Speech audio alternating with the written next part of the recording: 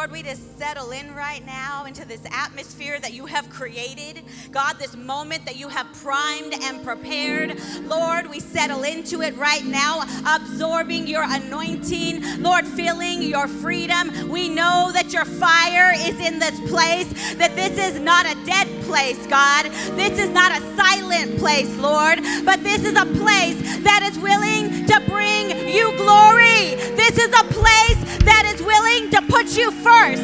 This is a place, God. This is a place that is willing to do the work that you have asked of them. So, God, we thank you. We thank you for being here with us. We thank you for being in the midst of us. God, we thank you individually that you saved us, that you didn't leave us where we used to be, but God, you brought us here today, and we know and expect that there is more for us.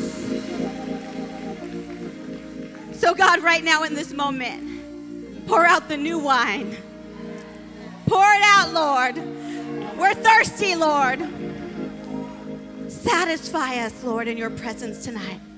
Thank you, Holy Spirit. In Jesus' name, amen. Amen. God is good. Amen. Amen. All right. I love the worship team here. Does anybody else love our worship team? And, and how about song, See the Sun, right? Oh my gosh, I love that song so much. Oh, wow. If um, just a little public service announcement, if you are um, if you are a Spanish speaker and you have a transponder and it wasn't working earlier, it is working now. So plug back in. Mm-mm. All right, praise the Lord Jesus. I hope I can balance all this stuff up here. Woo! Well, hi, church. My name is Christy. And Woo! You know, um, I just look out and I'm just like, this is my family. These are my people. Oh man, I am just so blessed to be up here today, so humbled. You guys have like no idea the weight of humility, okay, that God has just placed on my heart the last couple of days in awe, okay? In awe of getting the opportunity to stand up here before you today thankful for my pastors, Pastor Marco and Pastor Liza. You know, can we give them a round of applause? They're out there breaking new ground. But is anybody else grateful for the man and woman of God? I constantly say, I don't know who I would be if it wasn't for the Way World Outreach. Like, not even just where I would be, but like who I would be. I get to be who I am today because of the work that God did here. And I know so many of you guys feel the same. I want to say tonight also, I want to honor my husband, Pastor Armando. I usually have to say hi. Yes, I am Pastor Armando's wife. He's everybody's favorite, but you know, Team Mondo over there, all right? Um, it, I am so blessed. Uh, not only the work here at the Way World Outreach that just totally changed my life, but actually marrying that man might have saved my life, okay? Woo! Like literally, you know, going like, you know, on the highway to hell really fast, that was me, okay? Uh, I just really quick, you guys, we're gonna be going to the book of Haggai, and I'm gonna try to fit this in in the time that they have allotted me.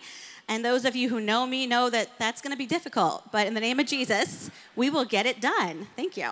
All right, we're going to be going to the book of Haggai today, chapter 2. Um, but in getting started, I just wanted to kind of give you guys a little introduction. I am going to acknowledge that, that probably a lot of you guys don't know me or you haven't heard my testimony, and you're like, okay, what's going on? So let me introduce myself.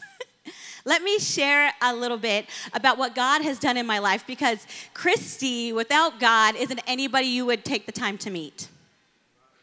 Christy, without the indwelling of the Holy Spirit, isn't anybody you would want to listen to. Christy was broken. Christy was losing her mind. Christy had been abused and in poverty. Christy was held in captivity. That's how I felt, just captured by the enemy. And there was nothing I could do to break free. There was no way out. I couldn't climb out of the pit. I, I, I couldn't turn the lights on. And maybe some of you in here know what that's like. maybe you guys can remember those moments. And you know what? If, if you feel like that right now, I just want you to know that there is a yoke breaking anointing in this atmosphere, that there is a God who still saves and delivers, that you don't got to walk out the doors with that same feeling. You're not trapped. God wants us free. So here I was, they were reminding me 17 years ago. And I don't know how, I'm only 21. That's weird, you know? Like, mm-hmm. but anyhow.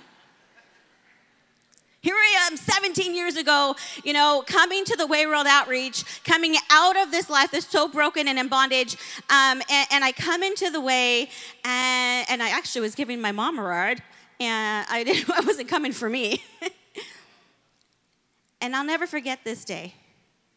I mean, I had grown up knowing God, just not the power and love of God. I had grown up in churches, but I had never seen a life transformed.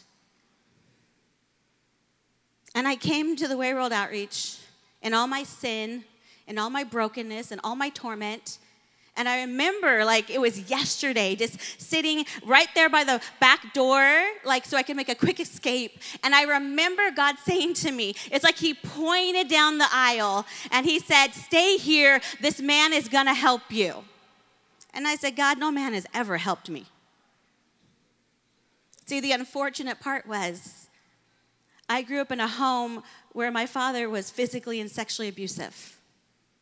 I grew up in a home where we were in severe poverty. I make a joke. I said, Some people, I get up here and they talk about being poor. And I said, I haven't ever heard anybody say this yet. I was so poor, the kids in the projects made fun of me for being poor. It was that bad. In fact, moving into the projects of East LA would have been an upgrade for my life. I spent summers homeless, just really, just horrible poverty. No self esteem, no self worth. Now put your Kleenex away. because my God didn't leave me that way. no. He doesn't want to leave anybody that way. That's why I believe God created the Way World Outreach. Because there are hurting and broken people, abused people, just like me, just like some of you, all over the world. And they need somebody to make a place for them. They need somebody to invite them in. They need somebody to lay hands on them and tell them about a miracle working God that can change everything.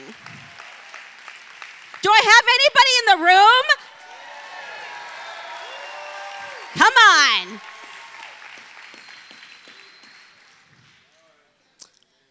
Thank you, girl. Because we're going for them. Haggai chapter 2. I want to set it up. Because when I read this really tiny little book, two chapters, somewhere at the end of the Old Testament,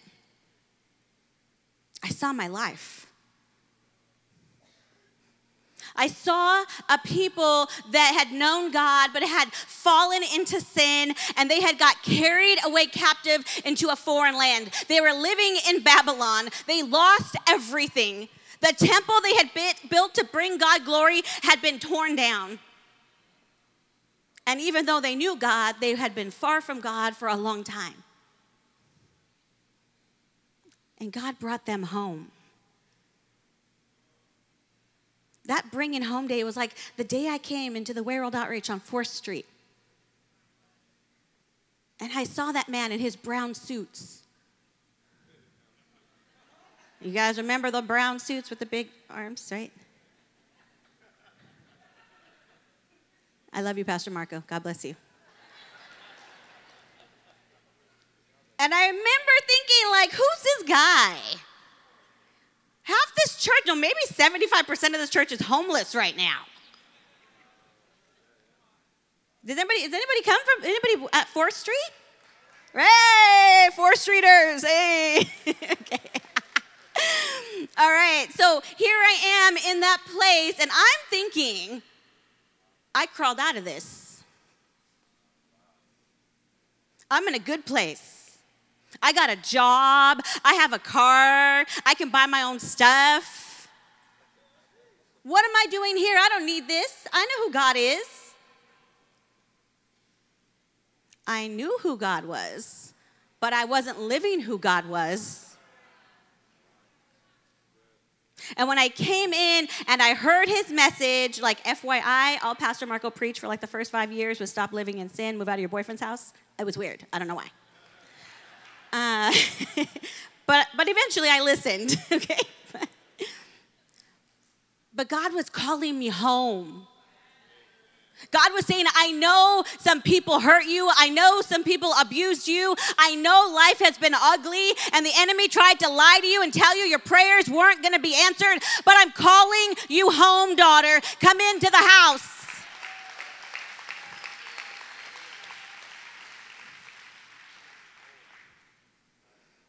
And that's the people we find in Haggai chapter 2. They came home. But anybody know this? You know, when you've been through some stuff and you, and you, you kind of feel like you're getting yourself together again, you take it easy. You don't want to rock the boat. You don't want to mess up a good thing. You don't want it to get risk to go back to what it used to be. You kind of get overly cautious. You know, your prayers are my four, no more. Everybody else has to take, take care of themselves. And for the first five years I came to the way, I, I just sat there. I didn't serve anywhere. I didn't pray for anybody. I, I didn't aspire to do anything in his house but not go backwards. And, and that's a good first step, okay? That's a good first step for a lot of us, right? Okay? And I'm glad you don't want to go back, but I don't want you to be afraid to go forward.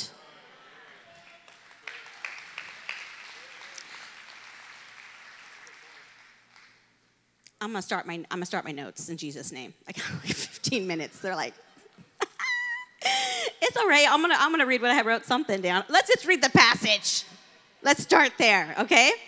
So I want you guys to have this in your mind. This group of people, just like me, they come home, they're back in the house, but they're a little bit leery and they're kind of just hanging out, they're lingering. And then and then this word comes, rebuild my house. Restore my glory. Bring in the people. And they kind of were like, oh, okay, I just don't know if it's going to be as good as before. It's not going to be like before I lost my virginity. It's not like going to be, fo- be like before I was a drug addict. It's not going to be like before God with you. It's going to be different. It's not going to be as good. That's how I felt. I felt like, how could God use me to do anything? Not just because what people had done to me, but also because those things I chose to do myself.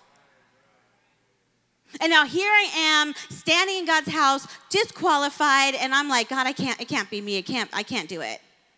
People pray for people like me. That's what, that's what I'm here for. So Haggai 2, 4 through 9. I'm going to read this word of the Lord. It says, But now, when? Now. Ooh, that's super loud. They have me really loud, or is that just me? Sorry. I was all looking around. all right, but now. See, this is this is not a word to delay or sleep on, God is saying. It says, but now the Lord says, Be strong, Zerubbabel, be strong, Jeshua, be strong, son of Jehozadak.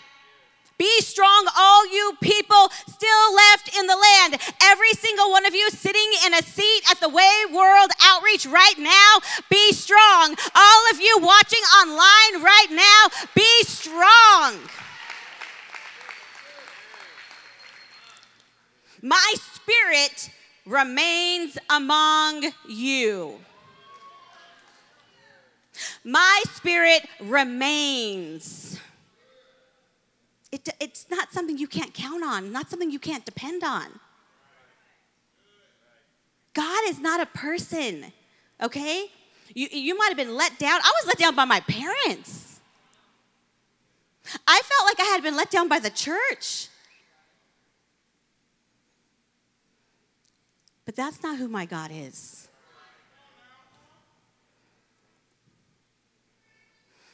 Verse 5, sorry. My spirit remains among you just as I promised.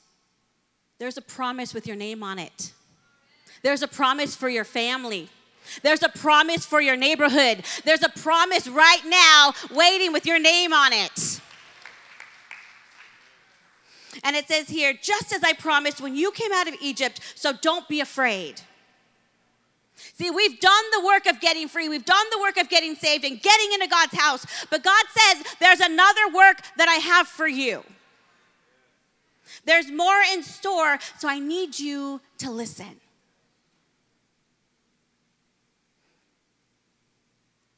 For this is what the Lord of heaven's army says In just a little while, I will again shake the heavens and the earth, the oceans and the dry land. I will shake all the nations, and the treasures of all the nations will be brought to this temple. I will fill this place with glory, says the Lord of heaven's armies. The silver is mine, the gold is mine, says the Lord of heaven's armies. The future glory of this temple, the future glory of this house, the future glory of your house, the future glory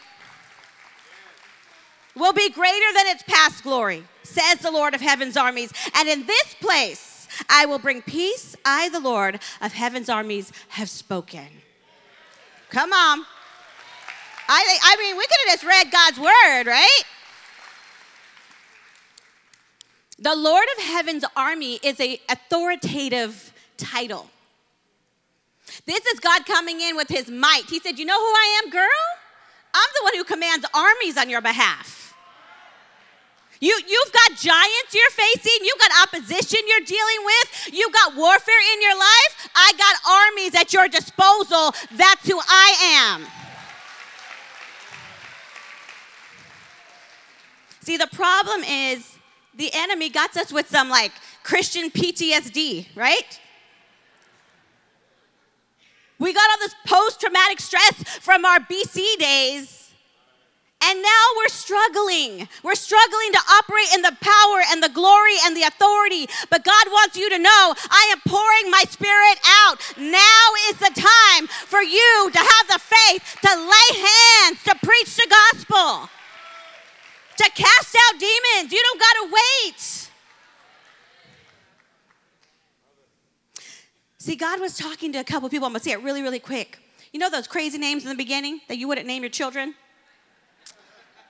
Zerubbabel, don't start there, right? It means sown in Babylon. You know what that means? It means he was born in captivity. He had never seen the promise. He had never lived in God's goodness. He never saw the glory of God's temple. He had never. He heard stories about it. But he had the faith to lead the people out of captivity and said, I heard a place that has God in it. I heard about a place where God is going to move. Let's head in that direction. Jehozadak means Jehovah is righteousness or God has righted. It kind of felt like me right there. See, he grew up in the church. His family was, was um, were priests. He was the grandson of the high priest. But he got carried away in captivity and he never became a priest himself. He never stepped in a ministry. So it's easy to now live in condemnation. It's easy now to feel disqualified, like God can't use me. I, I kind of I messed up. I fell out. But here they made him a governor. And they said, You're going to be a leader over the people. And when the word of the Lord came, they said, Hey, you, Jehozadak, the one that feels like you missed your call, like it passed you by because you backslid, guess what? I'm bringing you back home. I'm putting you back in position. Didn't I promise you that I had a call on your life? And he had a son, a son named Joshua, which means Jesus is, I mean, Jehovah is salvation. Maybe you're the first in your family to get saved. Maybe you're the first one, to, you know, to show up at church and, and, and give up the drugs and the alcohol and the gangs. Maybe you're the very first one. Maybe you're the first one not to be in poverty in your family, the first one not to be on psych meds on your family. Maybe you're the very first one. But it doesn't mean you don't have a legacy. It doesn't mean, okay, that you aren't qualified. God says, I might be sending you out first, but you are going to leave a generation behind you. God always has a two part plan. Number one, He works on you. And number two, He works through you. okay? So now I hope you found yourself in the story because God's talking to you. Point number two is God has a word for you. God has a specific word for you. See, this passage in, in uh, Haggai, okay, it was, ri- it was written and addressed to the leaders, to all the people. Nobody was excluded from this word. And this word was a word of preparation for the messianic return. And what does that mean? Well, Old Testament means Jesus hadn't come yet. And what this chapter means is they were saying we need to prepare for Jesus' coming. Now, I don't know about you guys in the last two years, but it's been a little rough. There's been pandemics and, and, and wars now, and there's been all of this strife and division. Even if you've never read the book of Revelations, I am 99% sure you know Jesus coming. I mean, they're posting it on Instagram every day. They said normal's not coming back. Jesus is.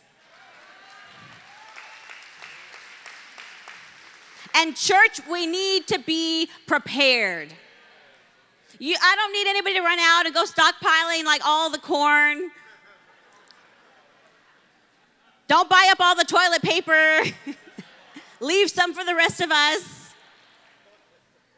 But I need you to be prepared to do the work of God. I need you to be prepared to share your faith.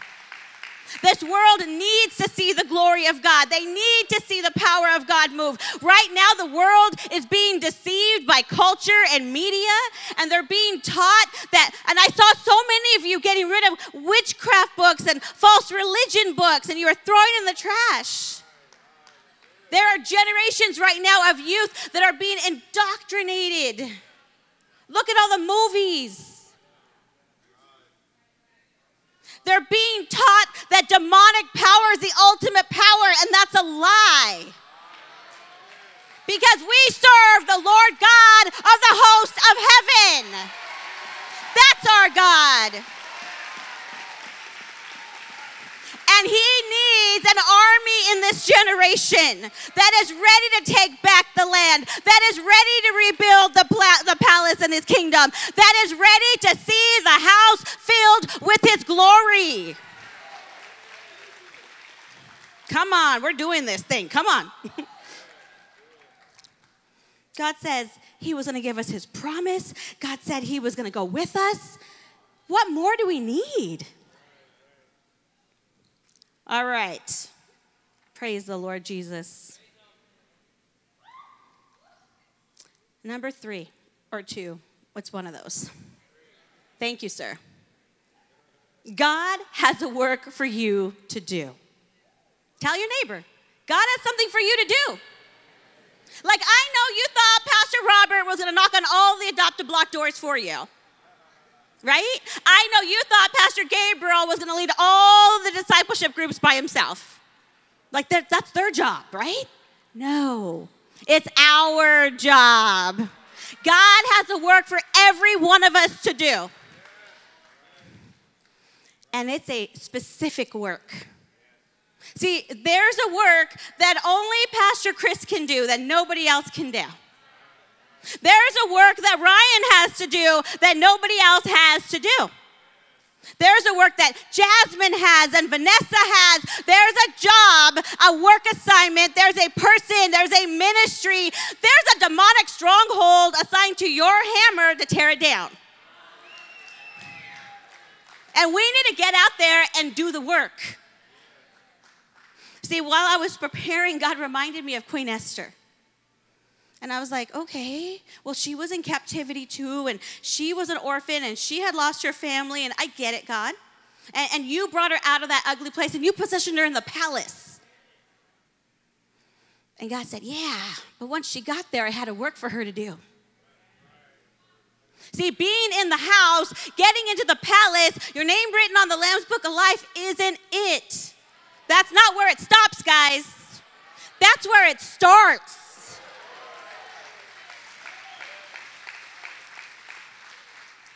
In Esther 4:14 it says uh, that she was told by her cousin, if you stay silent, that, that means if you act deaf, like you can't hear what God's saying to you right now.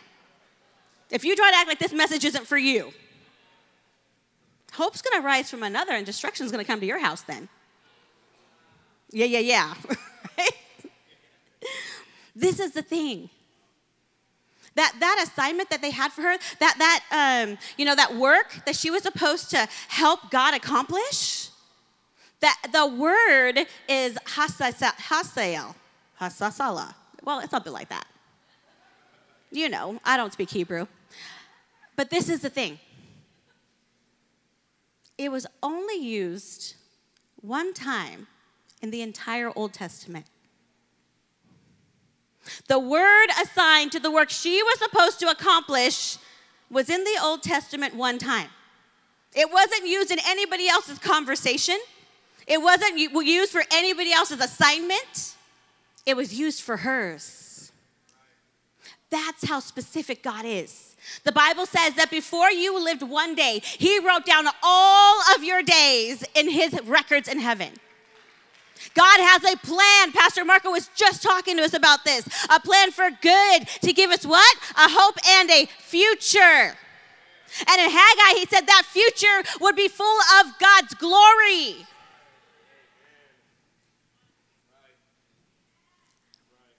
Thank you, Jesus. We can't be distracted. We can't be delayed. We have to be about God's business right now. Thank you. Haggai 2 6 says, For this is what the Lord of Heaven's army says, In just a little while, I will again, mm-mm, I'm gonna do this again. In just a little while, I'm gonna again shake the heavens and the earth, the oceans and the dry land. So, what is God saying? God's saying, Yeah, yeah, yeah. I know you've had your life shook up. And I know that, that you just got your balance again and you feel good. But I'm about to shake things up again. I'm about to turn the world upside down. And I know a scripture in the New Testament that says he just needed 12 men to turn the world upside down the last time. But God is getting ready to shake the heavens and the earth again. He wants people to wake up. He wants people to come out of their complacency. He wants people to come out of their bondage. And He wants His house full. That's why we build the house. That's why we spread the gospel to build the kingdom of God. So nobody's disqualified. Nobody's off the hook on this one. No matter what you've been through, God wants to use you. I get this amazing privilege every single day of my life. I am blown away that God would take me with that background, that disqualified, and He would use me to bring Him glory.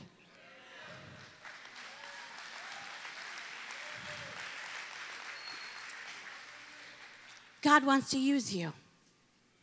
So I'm asking you, will you let him? Will you do the work?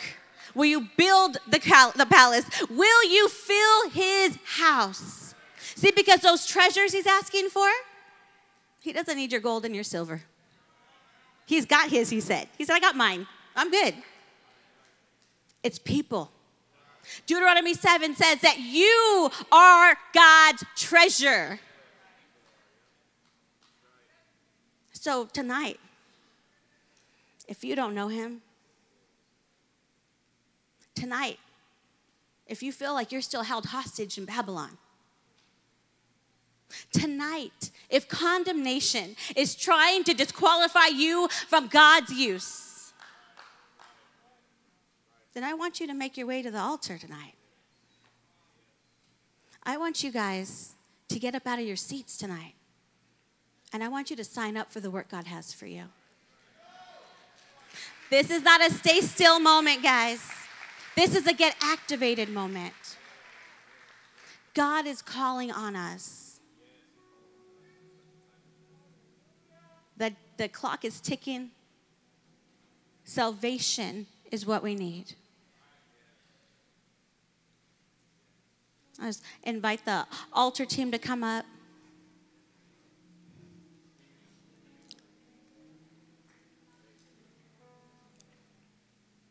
I know it went kind of fast tonight.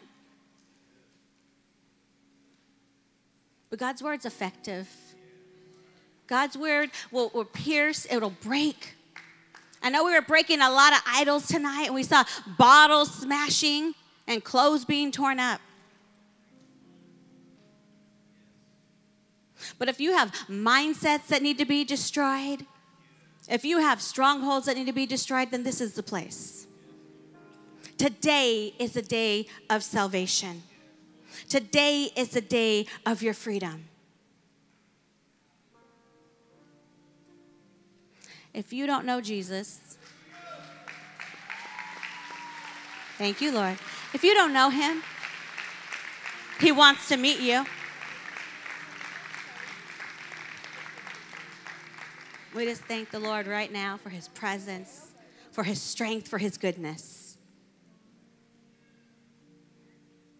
Thank you, Lord. If there's somebody that you need to stand for, stand with, ask your neighbor right now do you need to go up there? Is there something holding you back? Is there something keeping you? Then we invite you up. Thank you, Lord.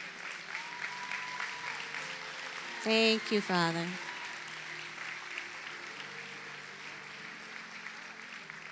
Thank you, God.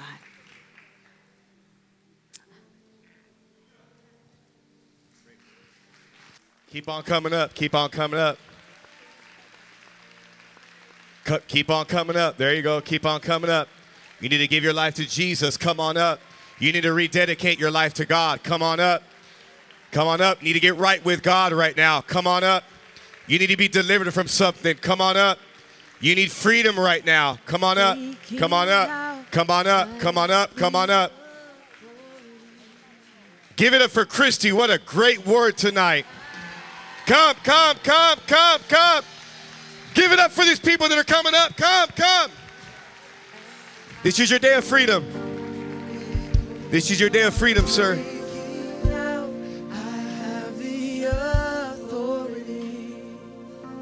That was a right on word for right now. I believe that was an end time teaching right now.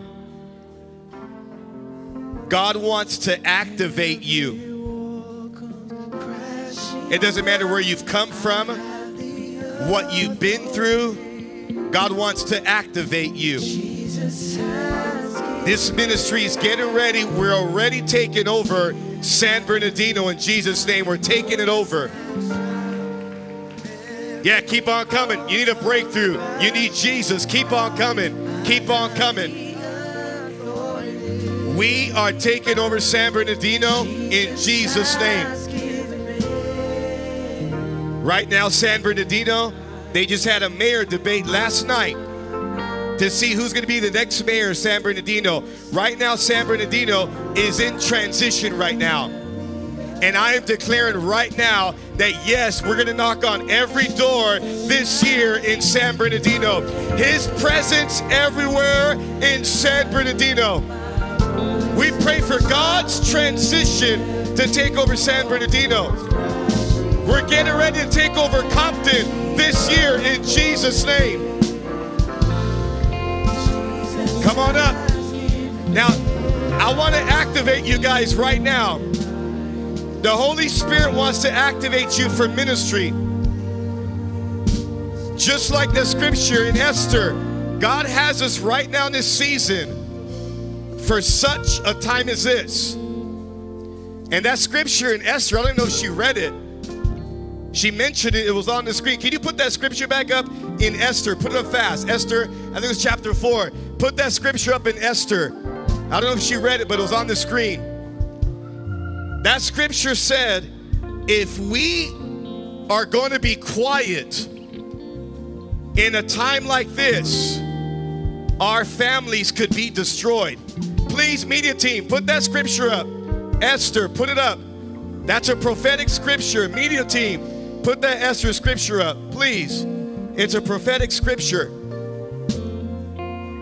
Before we leave tonight, we're going to get you saved, but we got to get you activated. Some of you guys have been coming to church, but you still haven't stepped out yet. You still haven't stepped out into the purpose of your life. And the first step is Holy Warriors.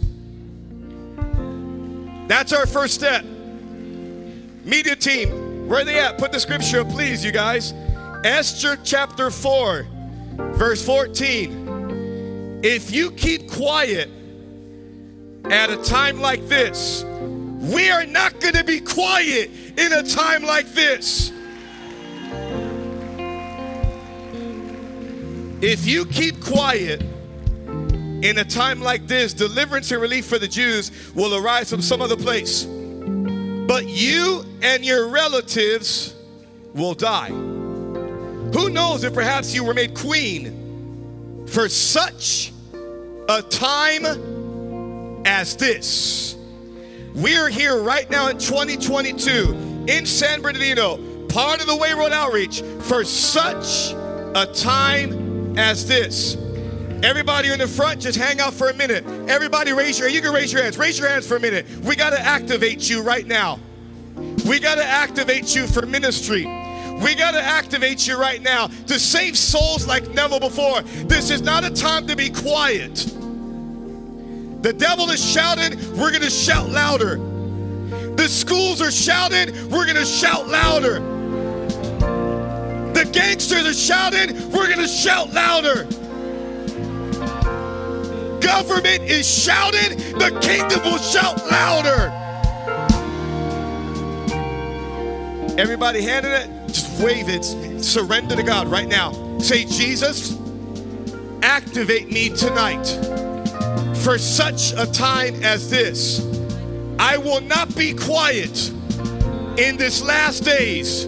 Jesus, use me. Holy Spirit, fill me. I will fulfill the promise of saving souls and making disciples like never before.